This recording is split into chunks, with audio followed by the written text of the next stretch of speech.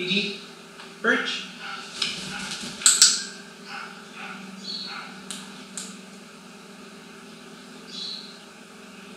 Big wings. Big wings.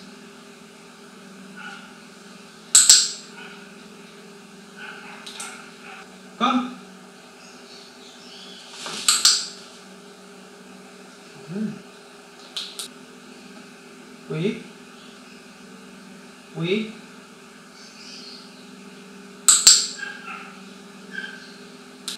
Touch.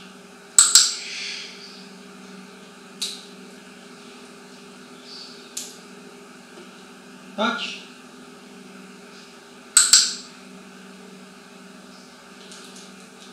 Big wings.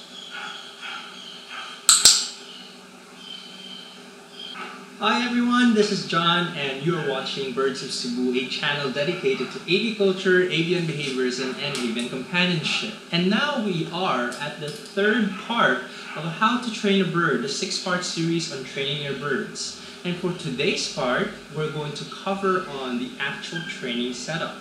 So we already know how to train ourselves as trainer. We know now how to possibly read bird body language.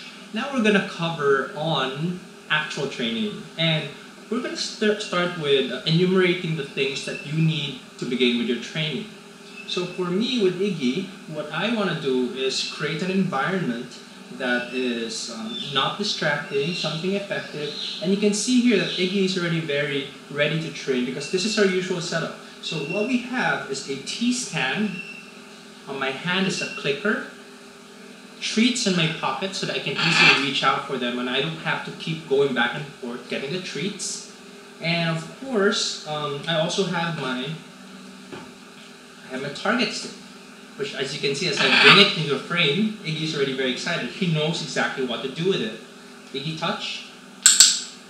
So prior to training, make sure that you got everything in place don't wait until you have to pick up these things in the middle of the training because you want the training to flow easily. You want everything to be at a pace that's comfortable, at the same time, less distractions. Because the more you control the external environment, the more you control the things that you can, then you're able to also manage expectations. The problem with a lot of people doing training and not considering their environment and all the materials involved is that every time something changes, they notice that their bird no longer listens. And a lot of it is because the bird isn't comfortable or is suddenly um, distracted by the change of environment. So make sure that you have things in place which makes the bird comfortable for training.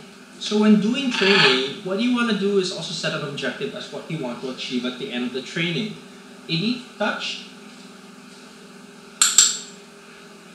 Because if you do not have an objective and you're just throwing around thinking that I'm going to teach them all the kind of tricks that I want them to learn, then you're doomed to fail.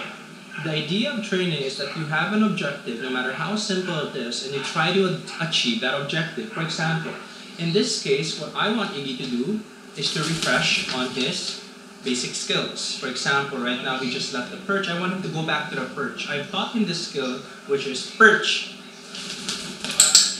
Good bird, Iggy boy. However, if you're dealing with a bird that hasn't let, uh, hasn't learned any tricks, what you want to do is figure out one simple thing that you want to achieve for that time. For example, for me, with a lot of birds, especially those that you want to teach something without having to do any form of touch or contact, what I do is do the target training. Iggy touch. So you want the bird to be able to respond to your cue and you build this kind of relationship. Right now, it's quite easy with Iggy because there's already an established communication. There's an established understanding that if I have the target stick and we're going to do target training, he's going to get treats. And you also understand what the clicker means. Now, the clicker training part, we're going to cover that on the fourth part of how to train a bird. But right now, we're going to cover on, Iggy's just really excited. Right now, we're going to cover on establishing your whole training setup. So make sure that you have a T-stand. I'd like to emphasize the importance of a T-stand perch because having a T-stand allows you to control the environment of where your bird is going to be. If you're going to have the training on top of his cage, there's more space to move around and distract the bird. Big wings, So it's kind of difficult making this video while doing the training session because Iggy's got this expectation. I'm on the T-stand, we're gonna do training.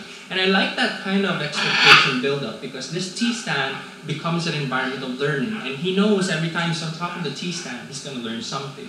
So find a T-stand that you're going to be using frequently. In my case, it's very simple. I have a speaker stand, the one that's used for loudspeakers and audio systems, and I mounted a wood on top of it. If you don't want to screw it, you can probably have some zip ties and wrap it around the mount, and you've got a stable, a stable T-stand. Just make sure that it's something stable enough, it doesn't wiggle whenever there's a huge push or there's a wind blowing, something that's stable for the bird so that it feels secure and doesn't and the bird doesn't feel scared the T-stand. Step up. Bird. Now, another thing that you should also remember about having a T-stand is that it should be something that you can easily move around. Having something that's fixed on the ground will be difficult because if one day you do want to transfer the T-stand to try, to try and experiment on new environments, it will be a struggle. So have something that you can move around. Step up.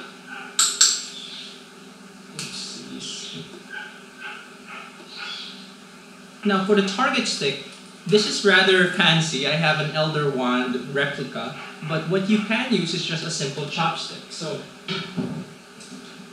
for example, touch. Iggy understands the routine, he knows what's going on, but personally, I just like using a very special target stick. Big wings, So Iggy is particularly motivated today because he's actively responding to my cues. But don't get discouraged if a bird doesn't really respond to your cues immediately despite many trainings before. There could be several factors like external distractions, for probably dogs barking outside, somebody passing by. These little things can affect the bird's mindset. Another thing that you could also consider is, is your bird full? You want to feel the crop if there's anything inside it. I've noticed that birds that are full may not be as motivated to train, but depending on the bird, there are some birds that despite their fullness, they're still excited to train. In this case, what I want to do is make sure that Iggy is number one, not full. Number two, he's comfortable and well rested. Tired birds don't want to train. And number three, he has this mindset that is focused on the training, which I've established from several training sessions, and it didn't happen overnight. So some of you might wonder, how long does it take to train a bird? In my case, I don't really have a fixed time as to how long I'm training with Iggy. I usually feel it out, and when I see that he's no longer interested to train, or he's starting to look at other things, or is no longer focused, then I end the training even before that happens. Usually there are already some signs. For example, he's no longer as quickly responsive to the cue, or when I place him back on the perch, he's no longer looking at me. That's usually the sign that says, hey, we've gotta end this, and that's the and our session is successful. Because the whole point of the training session is that you want to end with success. So what is the average training time for training a bird?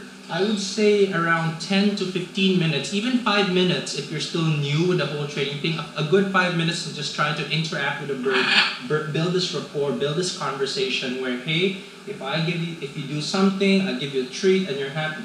Here, for example, wave. So you want to build that kind of rapport and even as simple as giving the treat and clicking, building this kind of understanding is really good training.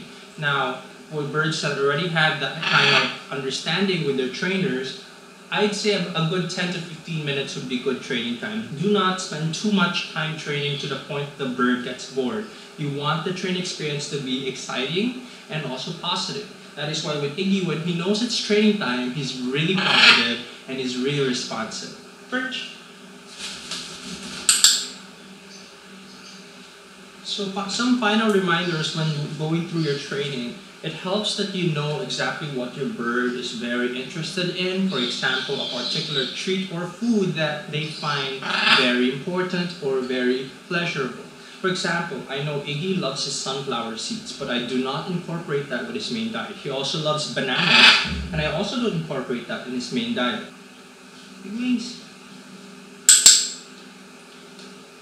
So if you're going to choose a particular treat, make sure it's not something that's currently on his diet. you want to make sure that it's something that is exclusive to the training session. So that if it's exclusive to the training session, he knows that he's only going to get it through doing all these things. So make sure that you got something that's exclusive and of high value. So by pulling out that food, if you know if it's already currently part of your diet, even if it's your favorite food, by pulling it out, it increases its value. So increasing the treat value also helps motivate the bird to really work for it. And for those of you who are feeling frustrated with your training, they think that it's not working or the bird just doesn't listen, I'd like to suggest that try to take a video of how you're doing your training. Why? Because you can take this video, upload it in the internet, and share it with online groups, and they can and other trainers can give you suggestions as to what's going on. They can probably see it from your body language, or how your bird is responding, or how you're communicating with your bird. All these things can be determined by a third party. In fact, for me, how it became more effective when training my bird is because I took videos of myself and I tried to observe what I was doing because sometimes what you're doing at that moment you couldn't possibly notice. So it helps to take a step back and look at your whole setup, how you're responding to the bird, how you're reading the bird's body language, and from there you can say, hey, this is what I gotta do, this is what I gotta change. So it's not enough that you're just studying the bird, it also it helps to study yourself externally. And lastly, what I think would be a very effective training session is when you're enjoying the whole experience with your bird. Don't think of it as I gotta teach this bird to do something. Think of it as at the end of this day, I will get to learn more about my bird than I did before. Little nuances, little preferences, things that you know makes your bird a unique animal. So knowing these things will make you a better trainer not because you taught the bird something, but because you learned from your bird. And as we say in the Cebu Avian trainers, in order to train a bird, you must let the bird train you. And that ends our third part for how to train a bird. I hope to see you for the last three videos of how to train a bird six-part series in Birds of Cebu. Do like and follow on our Facebook, Twitter, Instagram, and TikTok so that you can have more updates on how to train a bird series. I'm looking forward to seeing you guys again in the future. Thank you and goodbye.